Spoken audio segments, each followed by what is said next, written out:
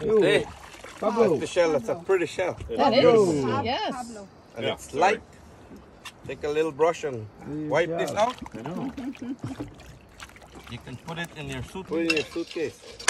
Yeah, I think so. We got that out, so might as well do that. Got this out too. Put this back. Those are yours. Yeah, rum punch or something. Yep. You just going down the whole time. That's cool. That's awesome. That is unbelievable. This what I'm holding here is the crawler. You can eat that whole thing, right? This is the crawler.